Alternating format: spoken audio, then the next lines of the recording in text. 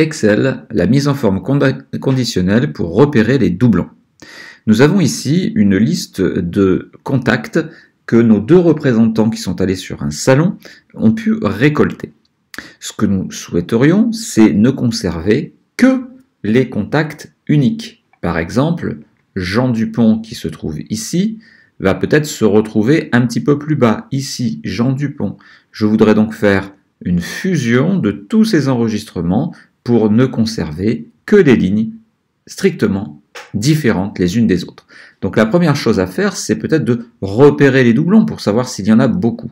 Et pour cela, la mise en forme conditionnelle est l'idéal.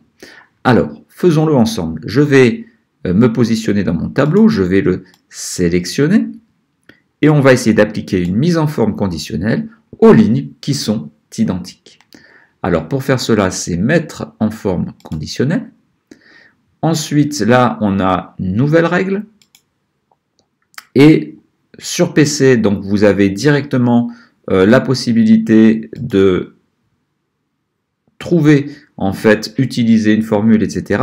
Sur Mac, il faut cliquer sur classique.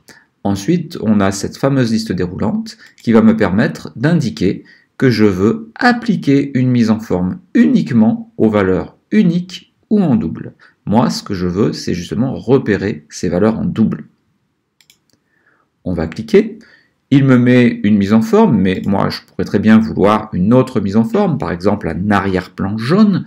Je vais donc aller dans Format personnalisé, Remplissage, et là, je vais demander une couleur d'arrière-plan jaune. OK. OK. Sont alors mis en jaune, et vous voyez qu'il y en a beaucoup, on était loin de s'imaginer qu'il y en avait autant, qui apparaissent en double. Alors, comment faire pour supprimer toutes ces lignes en double? Alors, c'est pas supprimer tout ce qui est jaune, hein, parce qu'en fait, Dupont, il est ici, Dupont, il se retrouve ici, je veux le supprimer une fois seulement. Donc, pour supprimer les doubles, je ne touche à rien, on va aller dans Données, et supprimer les doubles. Alors, supprimer les doubles, il se trouve ici. Supprimer les doublons.